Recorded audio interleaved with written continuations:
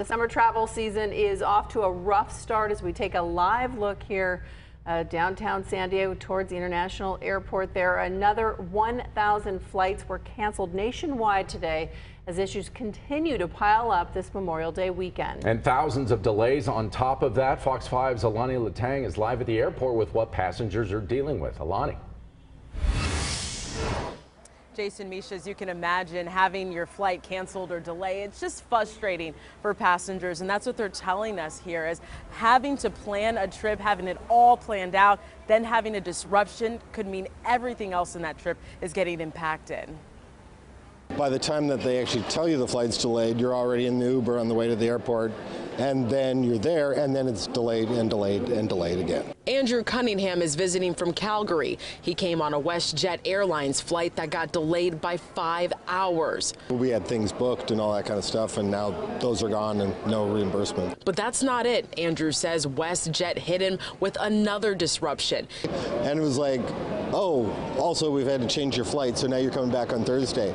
Other international travelers, Jalen May and Amity Solis, also juggling disruptions. They're on their way to the Philippines, but ran into COVID restrictions. They say their American Airlines flight from California to their layover in Japan didn't allow them on because they had a 16 hour overnight layover in the U.S. They say that type of layover is not allowed for entry into Japan. Right now, we're calling our agency and wondering how we're going to get to the Philippines, but as of right now, we're looking at a three-day travel trip. Traveling, that's eating away at their special 10-day trip. Our grandpa here, he's 73 years old.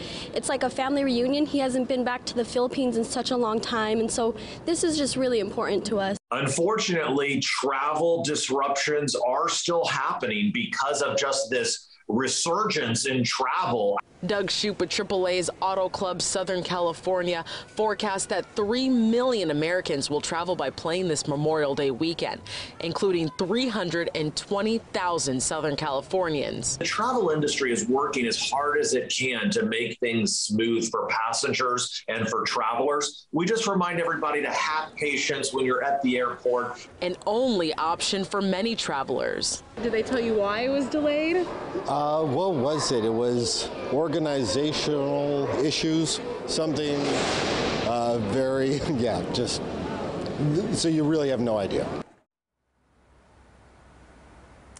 And one of the airlines, American Airlines, had 62 cancellations today and 539 delays. They told us those are largely due to inclement weather in Miami. And some tips from AAA to sort of uh, navigate these travel disruptions. Look into travel insurance. Consider getting a travel advisor. And of course, book early, don't wait. Reporting live at the airport, Alani Letang, Fox 5 News. All right.